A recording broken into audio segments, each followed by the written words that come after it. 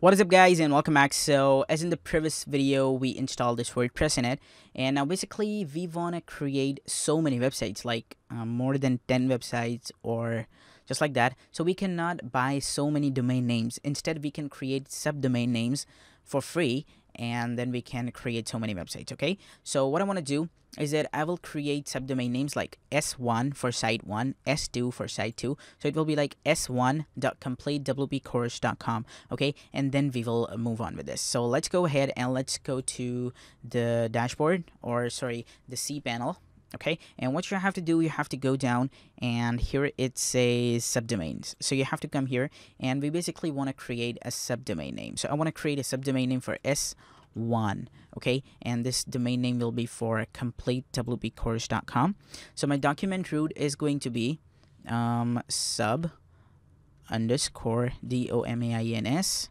slash s1 dot i s1 dot completewpcourse.com complete wp course.com s1.completewpcourse.com okay? So once i created this will be created and then we're going to install wordpress in it. So let's go ahead and let's hit create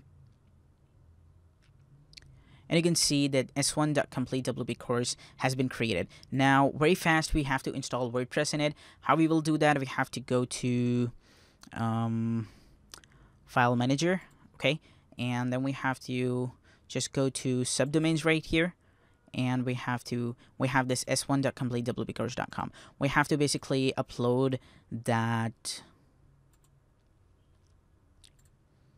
um, where's the upload? We have to basically upload that WordPress file. We have to select it. We have to just upload this WordPress.zip we have to open it up and you can see that this is being uploaded. So after it is uploaded um, what we have to do we have to go back and then we have to extract it. Here it is extracted. Now what I have to do I have to refresh this and I have to remove this. I have to just hit delete and this should be delete. So what you have to do, you have to now hit check this and then you have to hit OK, confirm. So now we have to basically log on to S1 completewpcourse.com. Let's visit this and there we go. You can see that it is showing 404 not found right now. Okay, but what you have to do, you have to wait for like um five minutes or more than five minutes and then when you will visit this page this will be done. Okay so you have to wait for like some time because um hostgator is a bit slow in this subdomain name. Okay so when they're done they will just get that and our site will be up and running. So after five minutes or four minutes i'll just be back and then i'll show you how to install wordpress in it. But basically you guys already know how to install wordpress in it. We have to just go to the mysql database okay? And we have to install wordpress in the same database okay? We have to install wordpress in the same database that is cwp course okay? The username is going to be this but we will be using a different um that extension.